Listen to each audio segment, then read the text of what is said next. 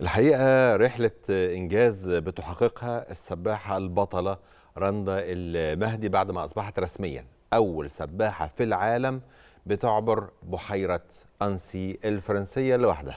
فعلا رندا المهدي منورانا دلوقتي عبر تطبيق زوم في برنامج صباح الخير يا مصر. صباح الخير عليكي وألف مبروك ودايما في نجاحات كبيرة وتحديات أكبر بتقدري تعديها إن شاء الله.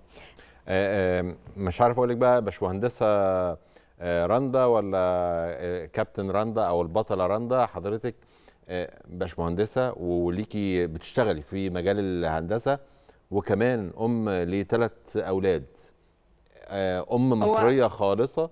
آه، أنا عارف إن إن لما بدأتي التدريب بشكل مكثف تركت شوية موضوع ال- الهندسة. بس أكيد يعني أكيد حضرتك نموذج يحتذى به لأمهات كتير. شايفة الموضوع إزاي وقابلت التحديات إزاي وتغلبتي عليها إزاي؟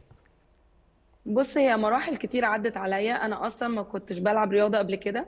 وابتديت رياضة في حياتي كلها 37 سنة. أنا حاليا 44 سنة.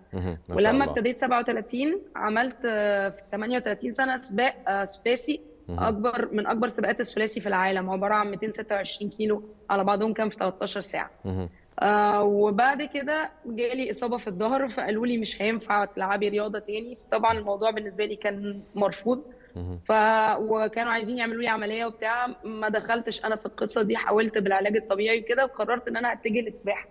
وبما إني حبيت المسافات الطويلة فقررت إن أنا أعمل آه، مسافات طويلة. عشان كده آه، آه، اتجهت للسباحة مسافات طويلة وابتديت بقى أشوف أنا هوصل أعمل تشالنج فيها كبير إزاي من جهة الشغل آه أنا كنت بشتغل فترات طويلة جدا بس لما قررت أعمل ال- الإنجاز بتاع انسي ده. خدت أجازة بقى أو يعني استقلت الصراحه. عشان أعرف أركز في التمرين لأن التمرينات ما بتبقاش قليلة. إنما أنا وأنا بشتغل كنت كل يوم الصبح بنزل المية الساعة 6 الصبح 8 بخلص آه، ألبس أطلع على الشغل. آه، ولو يوم ما كنتش عارفة الصبح أتمرن بتمرن بعد الشغل.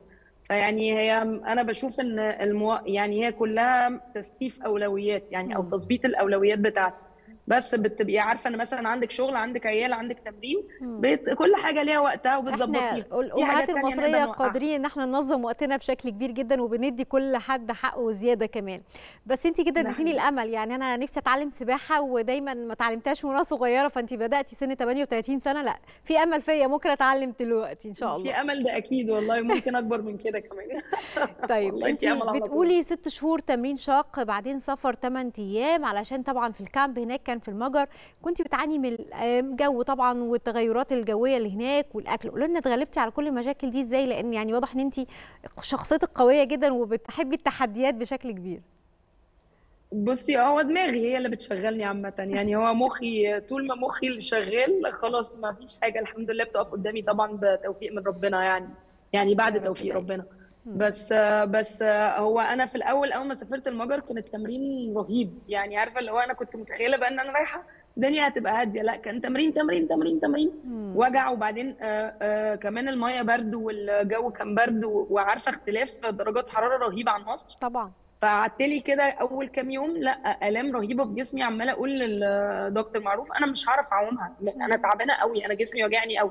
بس فضل هو بقى طبعا هو شخصية يعني ما يعني ما أقدرش أتكلم عنه في التمرين يعني هو رهيب. فقال لي لأ هتمشي الدنيا هتبقى ففضل حبة حبة كده معايا لغاية لما جسمي كان جاهز يوميها لل للتشالنج.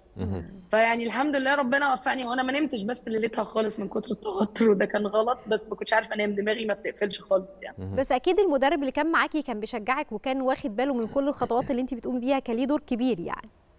ده 100% هو يعني كان معايا خطوة بخطوة من أول ما سافرنا لغاية لما عملت التشالنج هو نفسه. من كتر التوتر تعب جدا. يعني هو رجع بعد التشالنج هو اللي نام مش أنا هو كان ضغط عصبي رهيب طبعا. أحيانا طبعا في وشه لأن هو واخد كل الموضوع في وشه على على مسؤوليته تماما يعني. صح. آه. أحيانا المدير الفني بيبقى الضغط العصبي عليه أكبر بكتير من الضغط العصبي على اللعيب. خليني أسألك آه، آه، رندا إحنا كان عندنا إنجاز تاريخي برضو من بطل مصر العالمي آه، أبو هيف لما عبر المانش يعني تقنيا إيه الفرق ما بين آه، آه، أنسي بحيرة أنسي و آه، ال- المانش من حيث الصعوبة من حيث التيارات الهوائية من حيث مثلا ما أعرفش بيبقى فيه أمواج بص، مثلا آه، درجة الحرارة كده يعني. المانش الطيارات بتاعته جامدة جدا جدا جدا. أها. آه ال- المايه أسقع كتير. يعني. اللي أنا أعرفه بص أنا لسه إن شاء الله يعني ربنا يوفقني وأعمله. بس آه آه، هو المايه بتاعته أسقع وبعدين كمان ما بتقدرش تلبس wet suit هو المفروض تبقى نازل بالمايو. ما فيش حتى حماية ال wet suit شوية. فهي mainly التيارات الجامدة وال آه، وسقعة المايه برضه. دي تجربتك وطبعا ال- اللي طوله جاية إن شاء الله. وطوله أطول كتير. مش اللي جاية لا يعني إن شاء الله بص هو المانش أكتر حاجة خدت بابليستي في مم. مصر عشان أبو هيف نزلها وكده وبعد كده في كام حد نزلها. فأكتر حاجة معمول لها بابليستي بس في مليون بحر وفي مليون آه، بحيره ومليون نهر في العالم أها. نقدر نعملهم ونبقى أول مصريين عملناهم عظيم فأنا أنا بس مش عايزة أكرر التجربة صحيح. يعني أنا عايزة أعمل حاجات جديدة وتتكتب باسمنا كمصريين إحنا أها. اللي عملناها.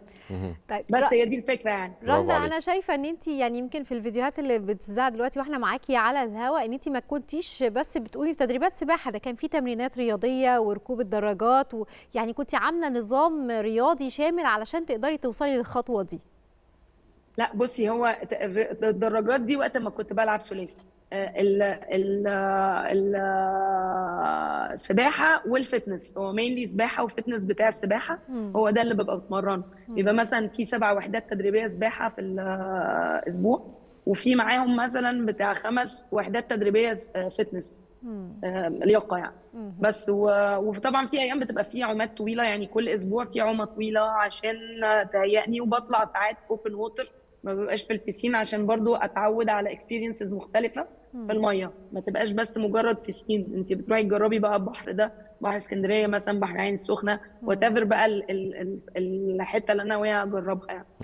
رندا انت آه، كنت بتقولي إن انت قبل ما قبل يعني خوض الغمار بقى ال ال الألعاب الرياضية fitness بقى أو آه، ركوب دراجات أو سباحة قبل ده أعتقد كان ال style of living بتاعك الأسلوب المعيشي بتاعك كان حاجة. وبعد ما بدأتي في الألعاب الرياضية كانت حاجة تانية. اشرحي لنا بقى وقولي لنا إيه اللي اختلف سواء بقى آه، صحيان آه، مواعيد نوم آه، نوعية أكل. أكيد الموضوع كله اختلف. 100% اختلف أنا كنت ست مصرية أصيلة بتربي عيالها يعني ما فيش. أي حاجة يعني بصحى بربي عيالي يعني بس آه العيال كبروا شوية الحمد لله أها. وأنا شايفة إن أنا أديت رسالتي في الحتة. دي آه بطريقة كويسة الحمد لله فكان وقتها إن أنا أبتدي أشوف نفسي أنا عايزة أعمل إيه في حياتي وأحقق إيه في حياتي لأن. أنا ابتديت مشوار ال- العيال بدري قوي وأنا صغيرة قوي. وأنا في ثلاثينات لقيت نفسي أنا لسه الحمد لله عندي وقت وعايزة اثبت نفسي في حاجات يعني. ما شاء الله. فابتديت ادور أنا بحب إيه وابتديت آه، آه، يعني بالصدفة دخلت الرياضة بس عجبتني وحبيتني وحبيتها ولقيت نفسي فيها جدا. فطبعا آه، انت لما بتبتدي تخش في الرياضة والتمرين لو انت عايز تحقق في حاجة أو عامة حتى اي حاجة انت عايز تخشها في حياتك لازم بتظبط الاولويات بتاعتك. أولوياتي إيه؟ أنا عايزة أثبت نفسي في الرياضة. فانا ما. ينفعش ما التزمش في التمرين ما ينفعش لازم التزم في التمرين بتاعي. فكل حاجة بتتظبط على التمرين بتاعي. يعني سفريات هتتظبط على التمرين بتاعي. لو السفرية مش هينفع أعرف أتمرن فيها ما بسافرهاش. آه الخروج آه ومقابلة مثلا الأصدقاء والحياة الاجتماعية بتختلف تماما تماما تماما لأنه أنا لازم أنام كويس عشان ده أهم حاجة في الريكفري والاستشفاء. عشان أعرف أعمل تمرين تاني يوم.